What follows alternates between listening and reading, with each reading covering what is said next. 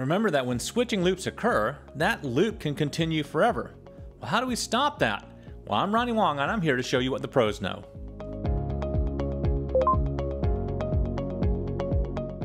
All right, so we're going to talk about spanning tree protocol. It is the protocol that we use to prevent switching loops from happening. Remember that if we have a network that has redundant links, especially with switches, we will end up with a switching loop. If we take a look at this diagram right here, if I'm trying to communicate from PC1 all the way over to PC3, well, notice that there's two possible paths, right? I can go from switch 1 all the way over to switch 3 to hit PC3, or the traffic can actually go over to switch 2 to switch 3 and then to PC3. Well, that's where we can actually have a loop occur. Now, the same thing can happen if a broadcast goes out, right? From switch 1, if PC1 sends out a broadcast, it's going to go across both of those switches. Both of those switches are also going to forward it out every other port except for the one it came in on, and that means it's going to go across this way. Those two will do the same thing and it will come back in and will continue around forever. Spanning tree protocol does this by simply going ahead and blocking one of the ports that are actually available for us. But we have to ask like how in the world does that end up working? And that's kind of the key behind this, right? The great thing is most of the switches that you'll work with today automatically have this feature turned on but why do we actually need to know about it? Well, if you're actually studying for a certification exam, it's a key element, and actually understanding what happens is also key too. So for example, when you first turn on a switch, like a Cisco switch, remember that as you plug something in, it doesn't go ahead and start forwarding right away by default.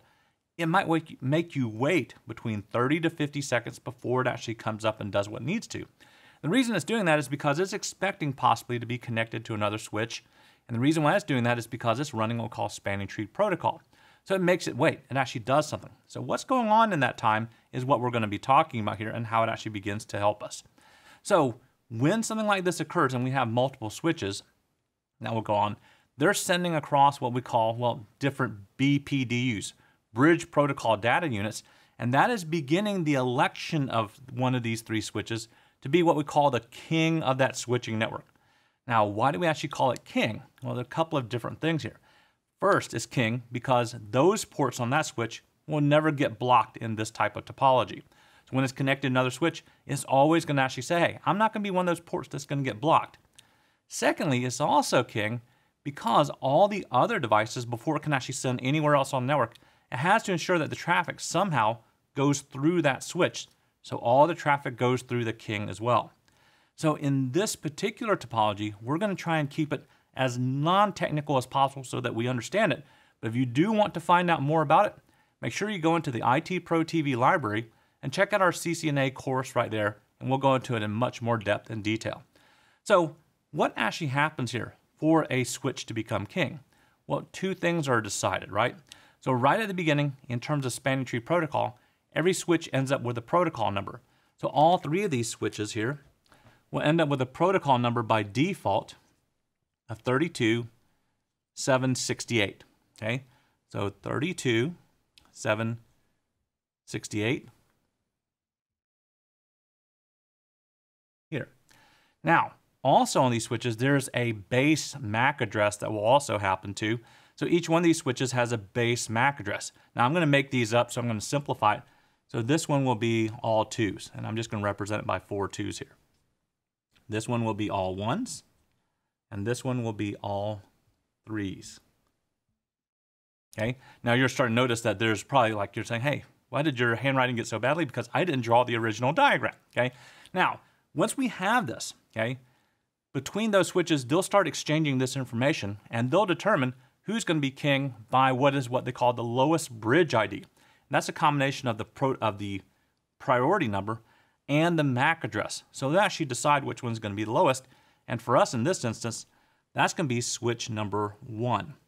So this one will become the king. Now, when it becomes the king, remember what we said. All data then will go ahead and go through them. Now, the rest of them will kind of, you know, work itself out, but they'll all start announcing switch number one's the king here. So now that means each of these ports will go ahead and begin to forward traffic. Okay, so I've marked it so that it actually forwards traffic here. Now from that point, that's what the king does. Now, what about these other two switches here? Okay, the other two switches to help us out in the spanning tree protocol. They'll go ahead and they're now called what we call non-root bridges at this point. So a little bit of terminology there, but they're essentially not the king, okay? So neither one of those two are the king. So they'll have to determine their shortest path back to, or the least cost path back to the king, or back to the root. So for switch number two, we can easily see that, but on a real topology, it may not be able to actually be that easily spotted for us as well, okay? So those two will actually end up in forwarding state as well. So that makes it easy. We can continue to actually go ahead and say, hey, traffic can be forwarded in here. But we have a loop. We can still forward across this way to get to PC3, or we're on PC3, we can actually forward it across this way to get to PC1. So it is between switch 2 and switch 3 that we now have to go, hey, one of those two ports is going to be blocking, okay? So that's what will end up happening there. Now, how do we determine which one of those two ports is going to be blocking? Well, the protocol number is the same. We're not actually going to take a look at the MAC address yet because that's not going to work. But we now have to talk about the idea of the cost back to the root bridge. So we'll make it easy. Now, there's actually specific costs. We're not getting in that. But let's say that this cost here is 10, this one here is 12, and this one here is 14. So we'll do it that way. Now, the way that switch 1 will go ahead and try and do it, or switch 2, excuse me, switch 2 will do it, is that it will go across here and goes, hey, there's a cost of 14. And then when it comes across switch 3 to go down to the root bridge again, there's 12. So 14 and 12 there, that's going to be 26. Makes sense. Switch 3 will go across to switch number 2 and then come down across this link to switch 1 and then it will go 14 and 10. That's 24. That is the least cost. So this port will end up forwarding. And it also means this port will end up blocking, okay? Now, once we have that down and it actually goes ahead and begins blocking, that means the rest of the network will go ahead and use this, but we'll actually have prevented loop. Let's talk about the original ID again. PC1 going ahead and sending on to PC3. Notice now that switch number one, it shouldn't go across to switch number two again, to go across to switch number three. If it does, it's going to be blocked right here. PC1 going across switch number one, coming up to switch three, is forwarding port, it gets directly to PC3. Now, do we have full connectivity throughout our entire network? Well, we have to verify it by switch number two as well. So we have another computer over here, and it needs to go ahead and send across as well. Well, do we have a path to get through? Notice here that switch number two, PC2 here, let's call it PC2, it can go across switch number two. It's gonna get blocked here, but it has this one single path here going through switch one and switch three to be able to gain access to PC3. So nobody is blocked even though we blocked a port on this particular network. So that's the foundation and beginning of understanding how spanning tree protocol works.